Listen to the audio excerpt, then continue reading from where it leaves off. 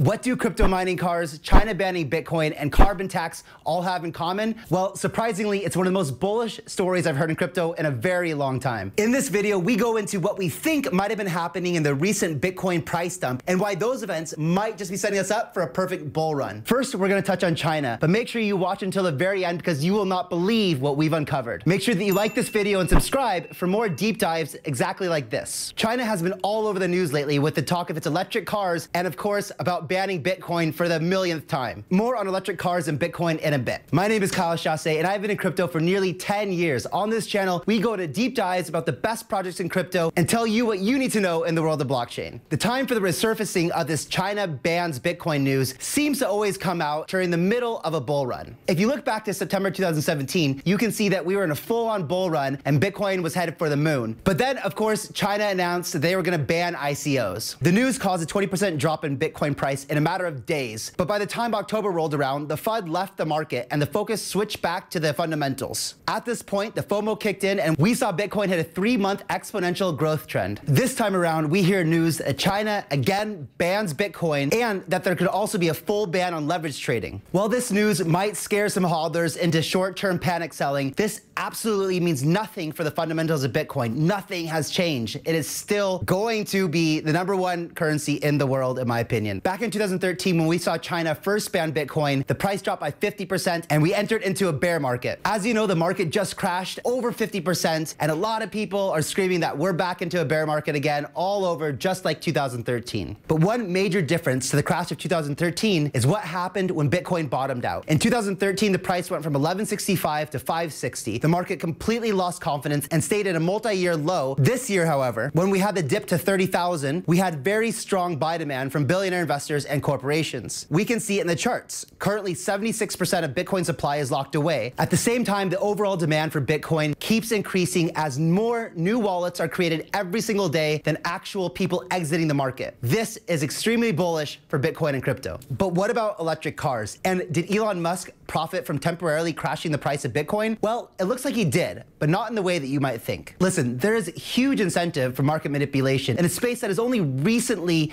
and barely regulated, and billions of dollars are at stake. We have a mix of large enterprises and institutions that are looking to enter into Bitcoin at the best possible price. And we have a lot of people that are holding huge bags that are looking to take profits. Just listen to Raoul Pal, a seasoned investor who actually believes the Central European Bank might have been the instigator of the recent FUD. I think the ECB, the European Central Bank, spread the ESG FUD.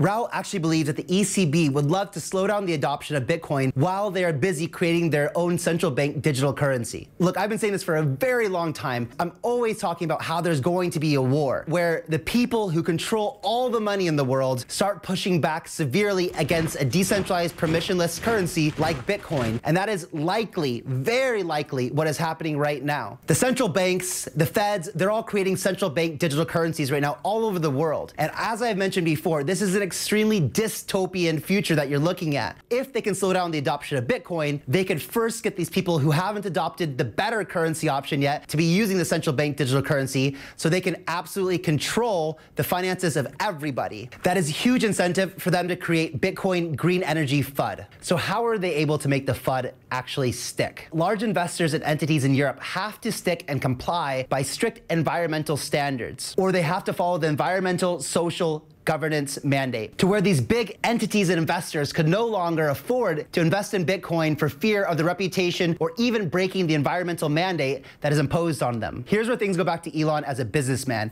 I'm not sure if you know this or not. Did you know that Tesla actually makes more money in carbon tax credits than it does in selling Teslas? In the past, Tesla has been selling emissions credits to other automotive makers. However, with many other car companies pushing out electric vehicles, Tesla is now switching to the US renewable fuel credit market to make the majority of its income. To have the best chance of entry into this market, Elon had no choice but to stop accepting Bitcoin for Teslas. This had nothing to do with Elon's personal opinion of Bitcoin. We even know that Elon loves crypto, and I'm sure that in the future he will be a massive advocate, as he already has been for Dogecoin, but we already know that he thinks fiat and the SEC are crap. So this had everything everything to do with Tesla staying profitable and gaining entry into the US renewable fuel credit market. So after the cryptocurrency markets were in a state of greed from January until early May, we actually started to see some fear come into the markets. It began with the ECB Green Energy FUD in early May and followed by the Elon tweet. During this period, we saw Bitcoin go from 60,000 to 54,000. Then the Elon tweet appeared to cause a cascade from 54K to 42K. In that 42K range, there wasn't a lot of support. Then we heard the plan on Reddit, where the Chinese entity wanted to long squeeze one single entity. That coordinated play saw massive coordinated dumping by Bitcoin whales, crashing the price down to 30K. This brings us all the way back to the beginning of the video. As you can see, there has been a lot of FUD since the beginning of May, but now here comes the good news. In the past, at the beginning of bear markets, we saw large amounts of Bitcoin liquidity sitting on exchanges and retail continuing to sell. This is the first time we've seen major financial institutions buying up the dip. There is enough confidence in the market that large amounts of Bitcoin are being taken off exchanges and putting into cold wallets. For large entities to do this, they would need to believe that we are near the bottom and cash in on that 50% discount they just got. Even more bullish news comes from Cathie Wood of ARK Invest. She brought up another great opportunity that could come out of this correction. I think are much more comfortable with it now that we've had several years to digest what exactly it is. At this point in Bitcoin maturity, we are seeing countries like Canada creating Bitcoin ETFs and even heard proposals for Ethereum ETFs. And for the first time, Americans finally have an SEC chairman who we believe is somewhat crypto friendly. That is Gary Gensler. It is very hard for an SEC to approve a very volatile asset like Bitcoin or Ethereum. And with Bitcoin at 60,000 plus and extreme volatility and price discovery, it would have been extremely difficult difficult for a Bitcoin ETF to be passed. But Cathie pointed out that Bitcoin has had a 50% correction and seems to have bottomed out and stabilized. To her, this seems like a much more reasonable market for Gary to approve an ETF. And exactly, exactly as I predicted in a video before that, Elon Musk and Michael Saylor have teamed up to create a Bitcoin mining council. The main goal for this council is to find the most energy efficient and green way to mine Bitcoin. As we all know, Elon Musk not only is he heavily involved in solar energy, he is also leading innovation in battery energy retention. As you know by now, when Elon gets involved and invests in something, he goes huge and revolutionizes industries. I don't think it'll be long before we start hearing news of what Elon and Michael have dreamed up about their plans for making Bitcoin mining more green and energy efficient. And who knows, he may even integrate Bitcoin mining into his cars or buildings using his solar energy systems. I think that once we get out of this fear phase, there is a lot of exciting and positive news ahead for us that will continue into the next phase of this bull market. I think it's going to be a wild ride. What do you think of this narrative. Do you think that we're about to start another leg of this bull market like in 2017? Or do you think it's more like 2013 and we're entering into a bear market? I've got some good news. Since you hung out and stayed through this video, and I hope you learned a lot from it, because I sure did making this video, I got some great news for you. You're entered into the giveaway. I'm going to go through the comments in this video. Please let me know what you want to see. What do you think I should make a video on? What does the market really need right now? I will go through and pick the best answer, and that winner will get a guaranteed allocation into one of our upcoming public sales on When you're done, make sure you can go watch my last video because there was another giveaway announcement in that video too. I think it's gonna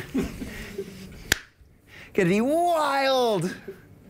wild. Everybody will rich.